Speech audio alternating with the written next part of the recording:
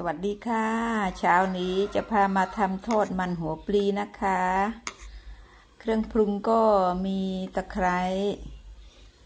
ใบมะกรูด หอมกระเทียม อ่าเราก็โขลกเครื่องพริกแห้งด้วยค่ะ โขลกให้ละเอียด หยาบๆก็ได้นะคะ เสร็จแล้วเราก็ซอยหัวปลีใส่ หัวปลีเราก็เอาไอ้เม็ดขมๆออกนะคะ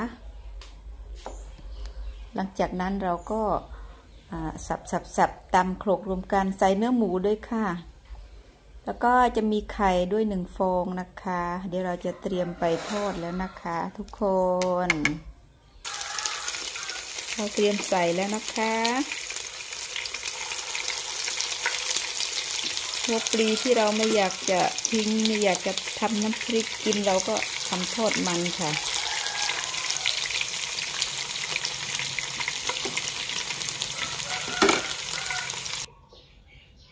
เสร็จแล้วค่ะ หน้าตาทอดมันก็ประมาณนี้นะคะ พอดีเราเราไม่ได้ผสมแป้ง ก็เลยทอดพอกินแค่นี้ก่อนค่ะ เดี๋ยวคลิปหน้าเจอกันใหม่นะคะ สวัสดีค่ะ